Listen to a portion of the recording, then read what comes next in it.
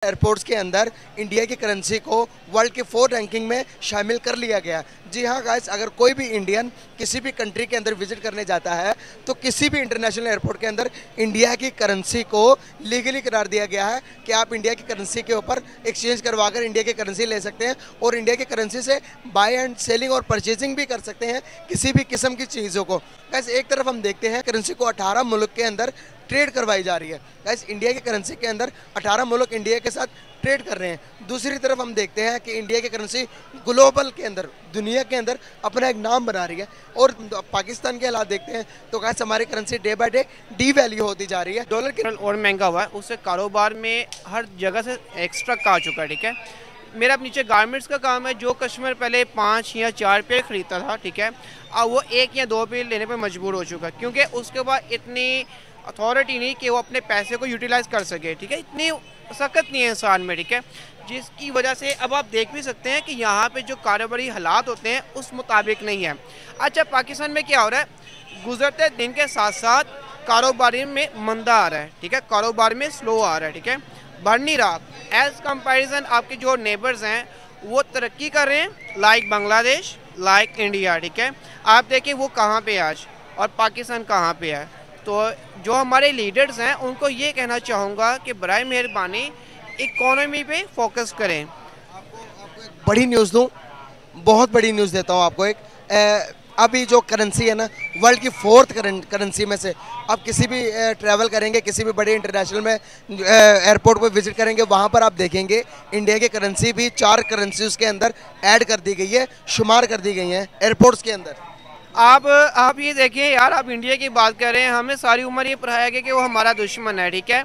और अभी रिसेंटली उनके प्राइम मिनिस्टर का एक इंटरव्यू था, जिसमें उन्होंने हमारे प्राइम मिनिस्टर को चैलेंज किया और जंग करते हैं। लेकिन जंग किस चीज़ की करनी है कि पहले गुर्बत कौन ख़त्म करता है? That is a good effect for us कि देखिए, पहले गुर्बत कौन ख़त्म करता है? आपने अभी कहा कि कहते हैं उनकी करेंसी को वहाँ पे इशू किया एयरपोर्ट्स पे। तो 18 ममालिक में उनका तजारती मामला इंडिया करेंसी में किया जाएगा ठीक है? इंडिया में इलेक्ट्रिसिटी जो है मर्सिडीज़ उन्होंने अभी रिसेंटली बनाई ठीक है? मर्सिडीज़ बनाई जो कि आलमोस्ट 850 टू 9 किलोमीटर 900 किलोमीटर चलेगा एक चार्ज पे ठीक है? एप्पल वहाँ पे जा चुका तमाम जो आईटी के जो ए, बेसिक जो वहाँ पे दफ्तर है वहाँ पे जा चुके। तो पाकिस्तान कहाँ पे घर है? अब पाकिस्तान में बहुत कुछ है। लोग कहते हैं पाकिस्तान में हर चीज़ मौजूद है टैलेंट यहाँ पे हर चीज़ है, लेकिन मसला क्या है, यहाँ पे टैलेंट की कदर नहीं है। सर सर अक्सर मैं जब इस तरह के हमारे पाकिस्तानी पब्लिक बात करते हैं कि पाकिस्तान में टैलेंट बहुत है, ये वीडियो सरहद के पार भी देखी जाती है। वो कहते हैं, मुझसे सवाल करते हैं कि अगर इतना टैलेंट है तो फिर टैलेंट आगे क्यों नहीं आ रहा? बढ़कर हमें दिखाया क्यों नहीं जाता? वो कहते हैं कि हमारे पास इंडिया में टैलेंट है, नज़र आता है। मुकेश अंबानी रतन टाटा, वो लोग गवर्नमेंट को सपोर्ट करते हैं। आपकी पाकिस्तानी पब्लिक हमेशा ब्लेम्स करती है कि गवर्नमेंट करेगी तो हम करेंगे, गवर्नमेंट ये करे, वो करे। तो आप भी कुछ करो ना। वो कहते हैं, टैलेंट है तो टैलेंट को वो कहते हैं कि टैलेंट पानी की तरह होता है, अपना रास्ता खुद बनाता है। वो सही कह रहे हैं या नहीं? आपकी बात बिल्कुल ठीक है ठीक है? एक टैलेंटेड बच्चा है, ठीक है? उसके ऊपर टैलेंट है, लेकिन टैलेंट की यहाँ पे कदर नहीं है। अब मेरी बात सुने, ठीक है? टैलेंट को सपोर्ट करने के लिए हुकूमत कुछ फंड्स दे। अब देखिए, मिसाल के तौर पर मेरे पास बोलने का तरीका है। मुझे बोलना आता है, लेकिन मुझे प्लेटफॉर्म नहीं मिलेगा। मैं चार डालूँगा अपने बोलने का। फिर मैं उस मुल्क में जाऊँगा जहाँ पर मेरी कदर होगी। आपने देखा कि पिछले एक साल में तकरीबन सात लाख पाकिस्तानी जा चुके हैं। सात लाख कोई आम एक अमाउंट नहीं है, ठीक है अच्छा इन सात लाख में कौन लोग हैं जो पढ़े लिखे हैं? अब आप अंदाज़ा लगाएँ, एक डॉक्टर है, उसके यहाँ पे वो, उसको वहाँ पे, यहाँ पे वो रिस्पेक्ट नहीं दी जाती, जो वहाँ दी जाएगी। डेफिनेटली वो मूव करेगा, अपना अच्छा सिक्योर वहाँ करेगा, अपना जो कहते हैं उसका फ्यूचर है सिक्योर करने के लिए वो मूव करेगा। अब वो रशिया हो, अमेरिका हो, नेपाल हो whatever even that India क्यों ना हो अब देखो, मेरा काम नीचे गारमेंट्स का, ठीक है? इंडस्ट्री का मेरा काम है। पाकिस्तान का घर है? बांग्लादेश कब आज़ाद हुआ उन्नीस सौ इकहत्तर में। आज सारा वहाँ पे बिज़नेस है। सारा कारोबार वहाँ हो रहा है। यार, हमारा मुल्क है, बहुत प्यारा मुल्क है, लेकिन अर्ज़ करना ये चाहूँगा, जो हमारे लीडर्स हैं, कि बर मेहरबानी कॉपरेट करें। जो टैलेंटेड पर्सन है उनका कॉपरेट करें। ये मुल्क कहीं नहीं जा रहा।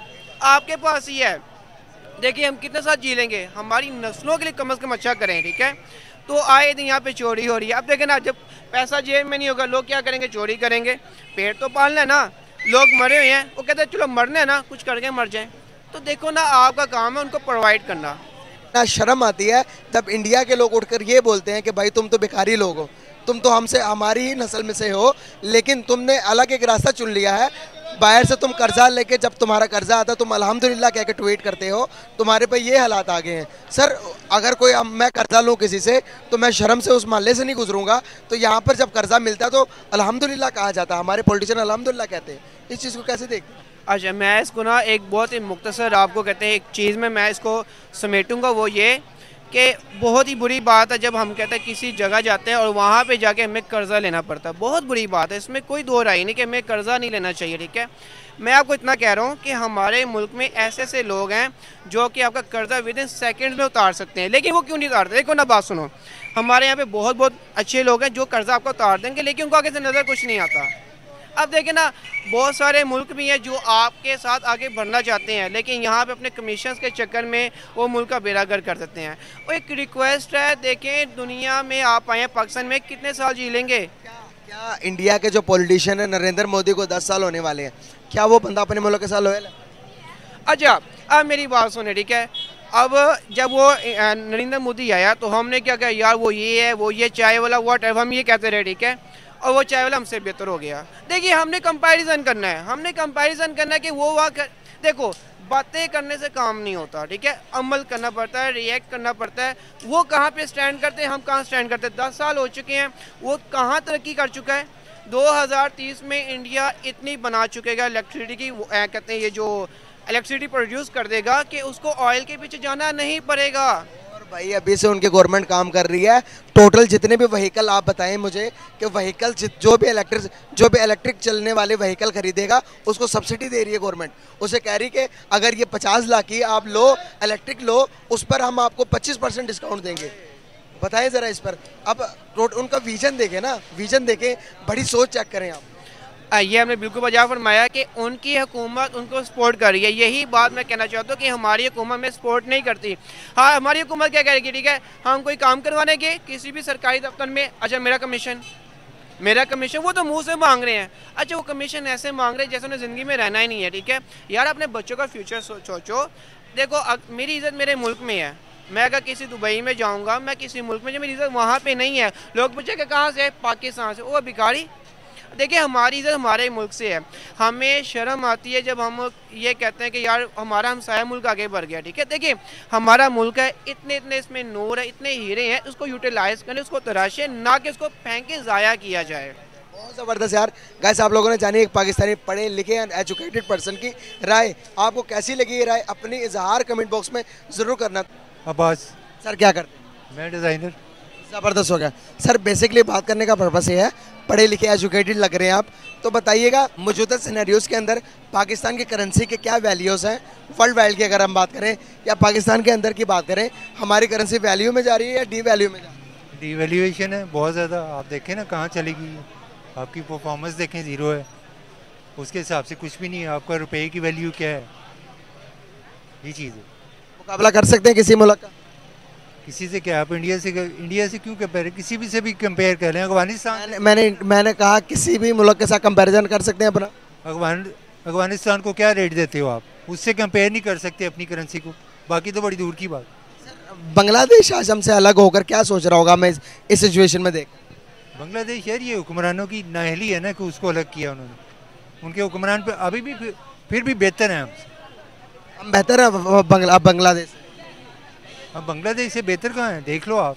वो हमसे ज़्यादा स्ट्रॉन्ग नहीं है उनके। हाँ जी तो फिर हम बेहतर कैसे हुए?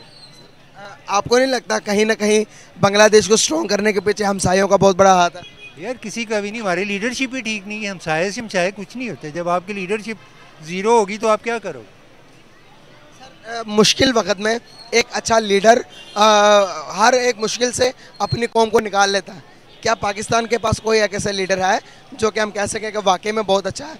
ये मुल्क को पार करवाएगा नहीं डूबते नहीं। यार लीडरों के अपने लल्ले तल्ले ख़त्म होंगे तो कोई लीडर बनेगा ना। इनके तो अपने हेलीपैड पहले ठीक होते हैं कौम के पास सिलेक्शन के पैसे नहीं होते। अभी नवाज़ शरीफ साहब ने अपना हेलीपैड ठीक करवाया पूछ रहे हैं उनसे मैं गलत कह रहा हूँ। फैक्ट्स एंड फिगर को ये जुटलाते हैं लोग। इससे आगे आगे और क्या हो सकता है? सर अभी एक रिपोर्ट आई है जिस रिपोर्ट के मुताबिक आपको मैं बताता चलो करेंसीज की वैल्यू निकाली गई। उसमें से इंडिया की इंडिया की करेंसी की वैल्यू फोर्थ नंबर पर आ गई वर्ल्ड फोर्थ फोर्थ में उसकी वैल्यूएशन हुई है। डॉलर यूरो और रियाल को पीछे छोड़ दिया इंडिया की करेंसी आगे आ गई। क्या कहना चाहेंगे आप? कैसे ये सब कुछ होता है? एक मुल्क को हम कहते थे कि हम इंडिया से अलग ही इसलिए हुए थे ताकि डेवलप की तरफ़ जा सके डेवलपमेंट की तरफ़ जा सके। क्या वजूहत? यार, वजूहत देखें, ये हमारी लीडरशिप की ना अपनी एक लॉबीज़ हैं। ये उनके लिए काम करते हैं। अब ये नारा लगा के गए थे अपने, क्या कहते हैं, इसाक डार साहब। अब देख लें, वो उसको दोबारा बुला लिया हमारी ब्यूरोक्रेसी और लीडरशिप का ये आलम है कि एक दूसरे की खाल उतारने वाले वो सारे इकट्ठे हो गए हैं। ठीक है? तो ऐसी लीडरशिप के साथ क्या आप क्या एक्सेप्ट करोगे कि अपने बीस रुपए की इसकी वैल्यू बढ़ाएँगे कि ये कम करेंगे? ये कह गया था, मैं जो हशर करके जा रहा हूँ, आप उसको देखें कि अब कौन माई का लाल है? अब ये खुद भी आया था माई का लाल इसने क्या हशर कर दिए? लोगों के भी कपड़े उतारिए कहता था मैं मैं अपने कपड़े उतार दूँगा। इन्होंने लोगों के कपड़े उतार दिए। वैसे ही बस ढके हुए हैं लोग वैसे नंगे ही हैं आपको नहीं लगता कि अगर इसार डाक साहब अपनी सारी प्रॉपर्टी दे दे तो पाकिस्तान का कर्जा उतर सकता कुछ नहीं होने वाला ये बाहर जो डॉलर लेके जाते हैं वो वापस ले आए बड़ी मेहरबानी इन सबकी बहुत शुक्रिया सर बहुत अच्छा लगा थैंक यू सर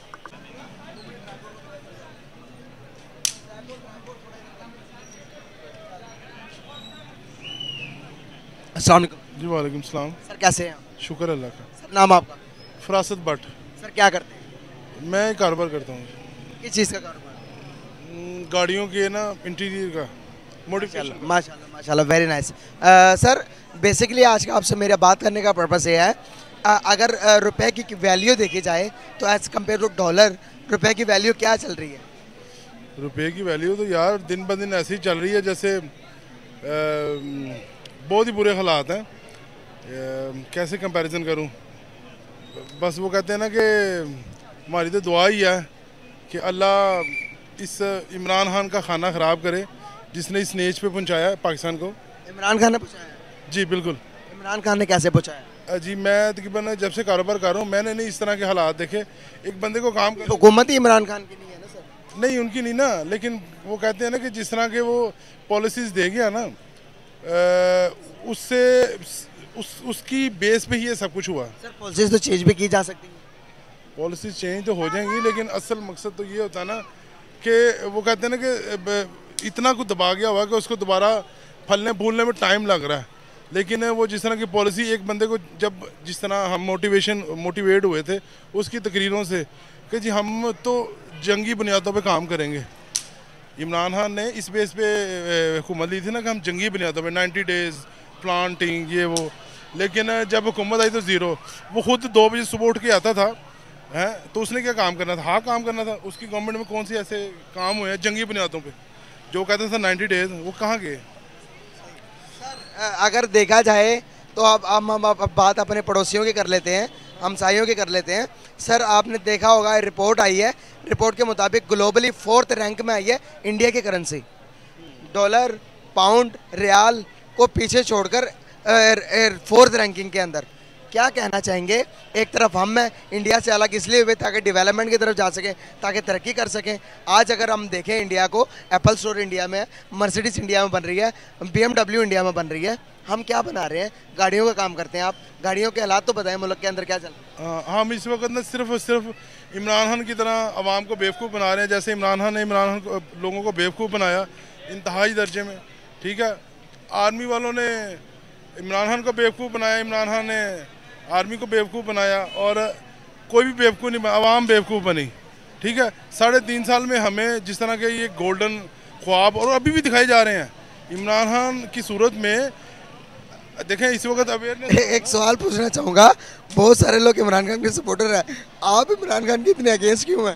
मैं तो बदवा दे रहा हूँ कि अल्लाह उसका खाना ख़राब हो बल्कि जिसने भी पाकिस्तान का पाकिस्तान के लिए बुरा किया ना अल्लाह वो उसका बेड़ा कर को और उसका खाना ख़राब हो। लेकिन मेरी जहाँ तक एक नाकिस राय और इल्म है ना उसके मुताबिक इसका सारा ज़िम्मेदार इमरान खान है। क्योंकि एक नलायक बंदे को जब ए, ए, ए, किया जाएगा अपॉइंट तो वो नलायकी ही करेगा। सर आपके नज़रिए में लाइक कौन सा हुक्मरान है पाकिस्तान लाइक हुक्मरान ये है कि एक दफ़ा चलने दिया जाए जो भी आए उसको पाँच साल चलने दिया जाए। ठीक है पाँच साल की पॉलिसी पाँच साल की गवर्नमेंट की बेस पे अगला बंदा वोट ले और पॉलिसी को ये नहीं है वो उन्होंने एक तजर्बा किया और वो ख़राब तजर्बा था। जो लेके आए वो खुद ही मुँह के बल भी गिरे और जिसकी वजह से आप वो पशेमान भी हैं। सर यहाँ पर अ, हमारे हुक्मरान मोदी के बारे में नरेंद्र मोदी को उल्टा सीधा कहते हैं लेकिन अगर आप देखेंगे तो हमने अपने मुल्क के लिए क्या किया हमारे हुक्मरानों ने पाकिस्तान के लिए क्या किया है? तरक्की के लिए क्या क्या पाकिस्तान? देखिए हमारे हुक्मरानों में हमें एक चीज़ देखते हैं। अगर हम पढ़ी लिखी बात करें तो हम 2013 से 2018 की जो ग्रोथ रेट है उसको देख लें और 2018 के उसके बाद देख लें। वो बंदे को लेके आए हैं पॉइंट किया है या जो भी किया है। अगर हम हमसे बात हो 2013 से 18 तक की वो तो मानी जा सकती है। उस पर तो मैं बात कर सकता हूँ। 2018 से 2023 तक तो क्या खाना ख़राब हुआ है? सर आपने इंडिया को देखा? बिल्कुल इंडिया को देखा यार इंडिया किधर? तो बहुत आगे जा रही है। अभी तो देखे ना रिसेंटली पता चला जी 18 मुल्कों में वो अपनी वो करेंसी भी करने लगे मुतारिफ करवा रहे हैं। लेकिन अपनी करेंसी के अंदर फ्री ट्रेड एग्रीमेंट साइन करवा दिया उन्होंने भाई। बताएँ जरा इससे ज़्यादा डेवलपमेंट कहाँ करें? मोदी को यहाँ पर बुरा कहते हैं पॉलिटिशियन लेकिन वो अपने मुल्क को कहाँ पर ले गया? हमारे मुल्क के अंदर क्या कुछ हो रहा? है सर हम इंडिया से अलग क्यों हुए थे? इसीलिए हुए थे ना कि ज़्यादा तरक्की कर सके। क्या हमने कर ली तरक्की? हम्म, देखें, जब तरक्की कर रहे होते हैं तो रास्ते रोके जाते हैं। इंटरनेशनल तौर पे देखें, हमारा सी पैक दो हज़ार बाईस तक स्टार्ट हो जाना था। ये इस नलायकी की वजह से, ये हमारी गंदी पॉलिटिक्स की वजह से 2022 अभी तेईस आ गया। अगर हम देखें 2000 जब वो स्टार्ट हुआ था तो उस वक्त ये था कि 2022 तक हम, हमारी इकॉनमी सी पैक और इस तरह के मुख्तलिफ़ प्रोजेक्ट्स जो थे, वो उसको हमने ऐसे स्टार्ट करना था तो वो नहीं हो सके थे। क्यों था? इंटरनेशनल माफिया हमारी पीछे पड़ा हुआ है। और जो हमें आगे निकलनी, अभी भी देखें ना कि आईएमएफ हमें दिन ब दिन कैसे वो स्टेप डाउन कर रहा है, हर पॉलिसी रोज़ नए से नए वो लेके आता है। नहीं नहीं पॉलिसी नहीं स्ट्रिक्ट कवानीन के अभी एक शर्त पूरी करते हैं तो वो दूसरी शर्त ले जाता है, दूसरी शर्त पूरी करते हैं तो हाँ। तो देखें ना, ये सारा कौन हमारे पीछे पड़ा हुआ है। तो फिर सर वो हमारे पीछे पड़े हुए हैं या हम खुद उनके पीछे पड़े हुए हैं कि भाई हमें दो तो वो तो मजबूरी है ना सर? जब वो आप मांगोगे तो उन्होंने तो अपनी शराइत रखनी रखनी है। अब आप मुझसे कोई चीज़ लेने आए हो मैं तो आपको कहूँगा ना भाई पहले इस काबिल तो हो जाओ। वो इस काबिल बना रहा। भाई आप मांगोगे तो उन्होंने तो शराइत रखनी रखनी क्या ख्याल नहीं वो बात आपकी ठीक है लेकिन बात ये है कि हमारे ये वो मांगना चाहिए।